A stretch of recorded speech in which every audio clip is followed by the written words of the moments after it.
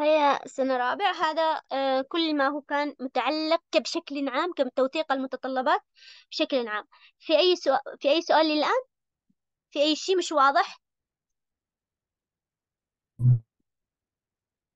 في حاجة لغ... لح... لغاية الآن مش واضحة؟ طيب بما أنه ما حدش علق معناته أن الأمور إن شاء الله بخير. في معك بعد هذه بحاول الآن إحنا تكلمنا بشكل عام وهذا كل اللي أنت بتشير له بأثناء النظام. في معك كمان؟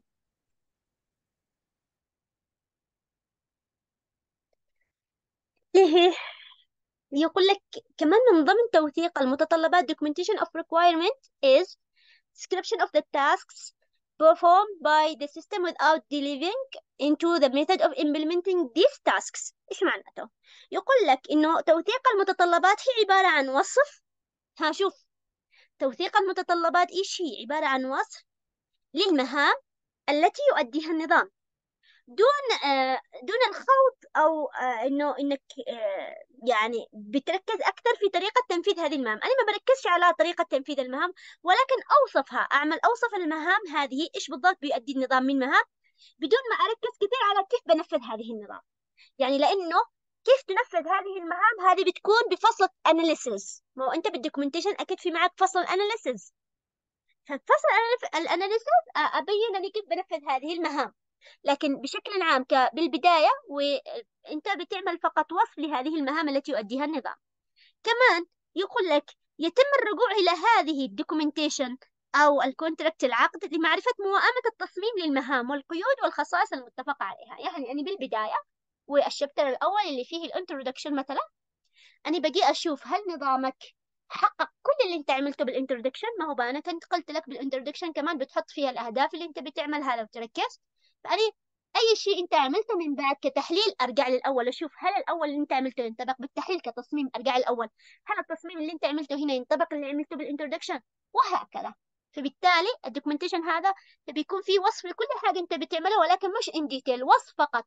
بعدين لما تجي لل chapter الثاني بتقول هل ال chapter الثاني عمل كل حاجة أنت قلته؟ قلت عليه بالأول ولا لا؟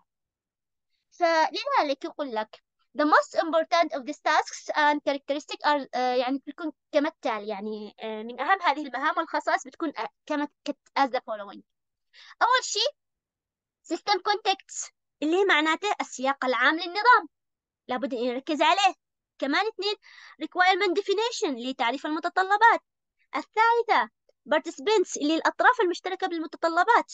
يعني أي أش... أي أطراف هذه كانت لها علاقة بالمتطلبات اللي على أساسها أنا عملتها وحددتها وكتبتها لابد إنه كمان أنتبه عليهم لأنهم أنا أشوف هل المتطلبات عملتها بما يلائم أو يناسب المستخدمين أو لا. واضح؟ أعتقد هنا آه هذه هذه السلايدز جدا واضحة وأغلبها نحن عملناها من شن من قبل. في أي شيء من الكلام اللي قلته الآن مش واضح؟ هاي سنة ثالث رابع.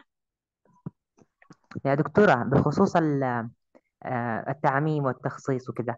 لا أنت قلتي معك نظام يمسك نظام قم بح... قم بتحليله. طيب إذا هي المشكلة ما احتاجش ان أنا أسوي هذا كله. يعني أول ما بديت استخدم النظام مجرد مستخدم عادي شعرت إنه في حاجة غلط في مشكلة في صعوبة باستخدام النظام. إذا قلنا بنركز نترك جانب ال security وخلينا نروح لجانب ال usability سهولة قابلية الاستخدام وكذا وسهولة الاستخدام. طيب أنا لما أنا أروح لعند صاحب النظام في يعني هو بنى نظام لا بأس فيه نقدر نقول لا بأس فيه لكن ما اهتمش بالواجهة طريقة تفاعل المستخدم وهذه الأمور وهذه التفاصيل. أروح أكلمه إيش أقول له بالضبط؟ يعني إيش أروح أقول لصاحب هذا؟ هو الآن يشوف إنه بنى شيء يعني شيء جميل شيء كامل الأوصاف. بقول لك حاجة بقول لك شيء. آه، إحنا إحنا نتكلم الآن على على software engineering صح؟ معناته اللي بيستخدم النظام مش اللي عمل النظام. لأنه لو كان اللي عمل النظام أنا مثلا أنا الآن مثلا محلل. فلو عملت نظام لي معناته النظام هذا بيكون معي اني فقط مش للبقية. بالتالي هذا ما يكونش software engineering بيكون system analysis لا لأنه أنا عملته لحالي.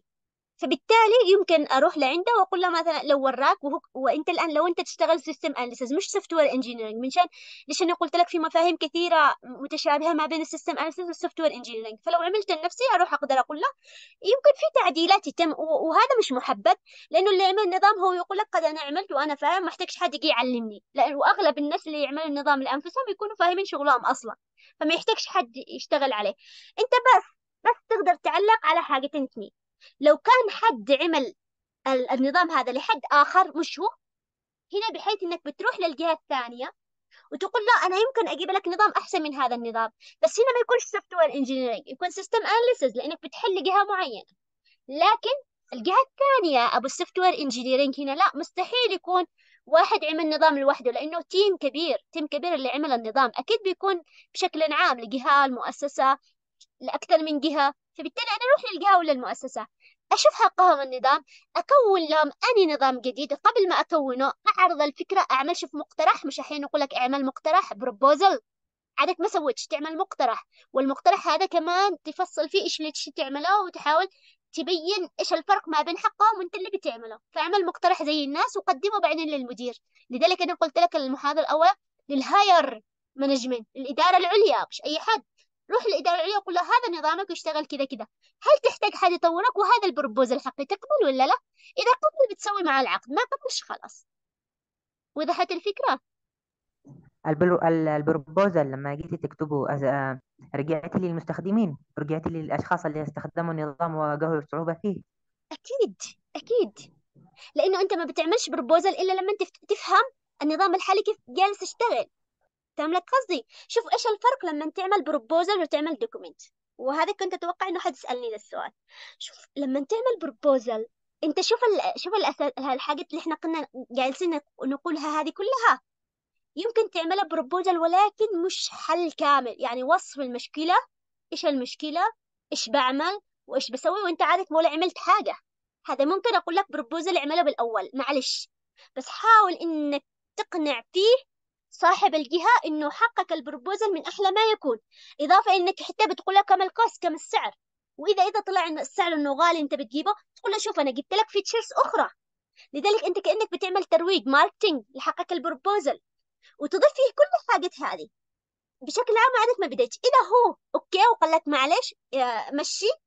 إذا ما قبلش أنت بتروح لحد ثاني وكمان تقنعه أو تحاول إذا ارتفض من أكثر من جهة بترجع مرة ثانية ما بينك وبين نفسك وتحاول تدور تعديلات أخرى للنظام. لأن أنت الآن مش كل الناس وبالذات نحن باليمن مش كل الناس بيقولوا عندك ويقولوا لك اشتغل لنا الشيء الفلاني. وبالذات لما تكون عادك ببداية ال... بداية شغلك عاد ال experience مش مش موجودة. فأحيانا في ناس قد انشهروا okay يجي لهم الشغل عندهم لكن أنت عادك جالس تدور الشغل. بالتالي حاول تجيب حاجة فيها تميز وقلت لك software engineering مش أنت وحدك اللي بتشتغل team كبير بيشتغل معك فبعدها إذا ال proposal okay واتفق عليها يا دكتورة. ها. أسمعكم ها. إذا كنت ب... إذا كنت بعمل نظام لجهة معينة أو إذا كنت بعمل نظام لجهة معينة أو لشركة معينة والشركة هذه معي مثلا أكثر من فرع. هل هنا أعتبره software engineering ولا أعتبره تحليل تصميم النظام؟ أكيد أكيد لو هو أكثر من فرع حتى لو كان فرع واحد حتى لو واحد فرع. ما دام أنت بتعمل لهم المشكلة تحل لهم بشكل عام للنظام هذا والمؤسسة بيكون software engineering تمام؟ شوفوا أنا أشوفكم طيب. شو أشوفكم إنكم شوية متلخبطين. أشوفكم شوية متلخبطين بحكاية system analysis و software engineering لو كان لجهة واحدة. شوف إحنا متفقين أكثر من فرع أكيد software engineering كمان جهه واحدة ولكن عام إيش معناته؟ مشان أوضح لكم شوية اللبس. لما تقول لي جهه واحدة وأنا بعمل software engineering معناته مثلا مثلا لو عملنا حق المخازن أنا بحل المشكلة شركة. مثلا خلينا نقول شركة مش الشركة هاي السعيد. لأنه في معاه أكثر من أي شركة. بغض النظر يكون معاه فرع واحد. وهذه أحل لها مشكلة المخازن بحيث أن الحل مشكلة المخازن لهذه الشركة يمكن للشركة هذيك يمكن لشركة ثانية يمكن لشركة هاي السعيد اللي أبو فروع يمكن لمخازن مش شركة لمخازن مدرسة يمكن لمخازن مستشفى. هذا اللي نقصد لك فيه العام. فاهم لكم قصدي؟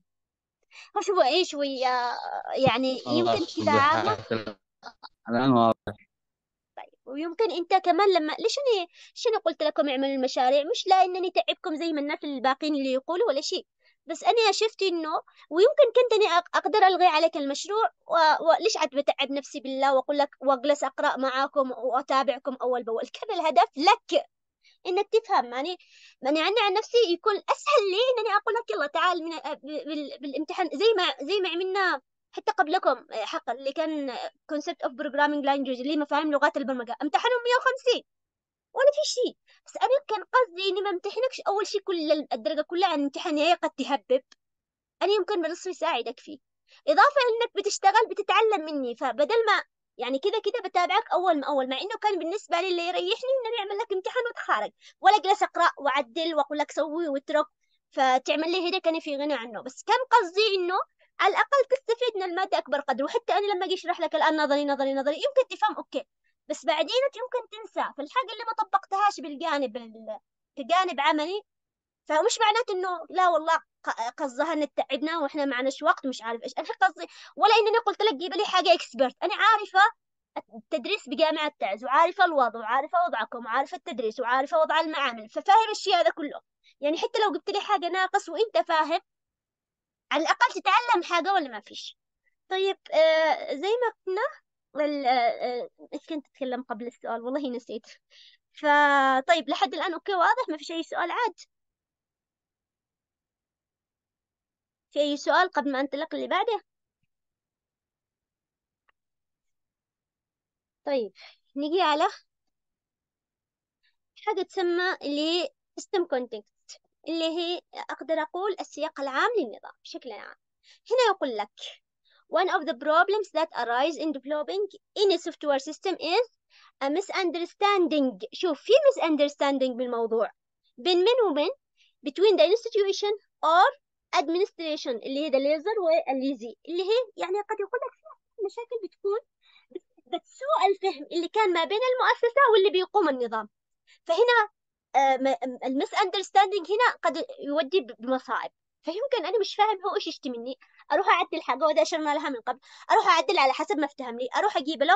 هو يتغايض لأن إحنا أخذنا من وقته وكمان قد بدأ يمول المشروع وبالاخر ما جبتلوش نفس اللي جابه. وهذا بسبب يا إما كنت مستعجل يا إما بسرعة. لا المفروض خذ وقتك. اسأله والحاجة كمان بعد تقول له أنت قصدك كذا كذا حتى هذا الشيء أستخدمه معكم لما حد يسألني أي سؤال مثلا هنا أقول له أنت كان قصدك كذا؟ بحيث أفهم هل هذا سؤالك ولا لا. ما رحش على عقل وخلاص اللي افتهمني يمكن افتهم لي سؤال ثاني أنا أروح أرد عليك حاجة ثانية فأربشك أكثر. لا أنا كلما بتجيب لي أجاوبك وبعدين أفهم هل إجابتي هي كذا على أنت اللي تشتي ولا حاجة ثانية لأنه أحيانا قد تكون أنت بوادي وأنا بوادي آخر. فهذه لابد إنني كمان أركز عليها. النقطة الثانية the relationship between the proposed system the user with the computer system and other system must be documented and clear. يقول لك دائما ال relationship اللي تربط سواء كان النظام المقترح وكمان مع المستخدمين أو نظام الحاسب والأنظمة الأخرى اللي أنت بتستخدمها يجب أن تكون فيها يمكن أن تكون موثقة وواضحه إيش معنى موثقة؟ أنت عملت هذه العلاقة كتبتها. وهذا اللي أنا قلت لك كمان اعملها بال introduction أساس لما تكون موثقة بحيث أنا لما لما لما كتبت بال proposal شوفها وهذه النقطة كمان أنت بتستفيد منها. أنا كتبت بال proposal عرضته على الشركة الشركات قلت لي okay هذا اللي نشتي منه ووقعت عليه وتم اعتماده. أنا طبعا اشتغلت حسب ال proposal. يجي يقول لك بالمدير لا أنا كنت طالب منك حاجة ثانية. أنت تقول له هذا البروبوزل اللي أنت اللي أنت قلت عليه. فيكون حاجة عندك موثقة بحيث إنه ما تخليش حد يغالطك. مش يقول بعدين تغير لا كل حاجة موثق فشوف مثل الدليل. اللي معاك الإثبات اللي معاك بحيث إنك مثلا حتى مثلا بعضهم يطلبوا مثلا أجر. فبالتالي يقول لك بعد ما تشتغل الشغل يقول لك لا ما فيش إمكانية. لو في معك دليل خلاص ما حدش يقدر يقول عليك حاجة. وهذه النقطة صراحة نحن من شأن نتهابل. شو هذا؟ حتى أنا أحدهم. اللي كنت أوقع فيه. ما كنتش أوثق. فياما ناس آه، بعدين بالأخير الأجر اللي كنت أطلبه جابوا لي. أقل وفي ناس عاد ما جابوليش أجر وفي ناس رفضوهم باللحظات الأخيرة. وهذا بسبب إني ما وثقتوش. ما جبتش الدليل. لا أنت أي حاجة بتوثقها وخذ حقهم. التوقيع عليه بحيث إنك تأمن مستقبلك. يعني تأمن حالك من حالك. تمام؟ افتهم النقطة هذه ولا لا؟ هذا رابع.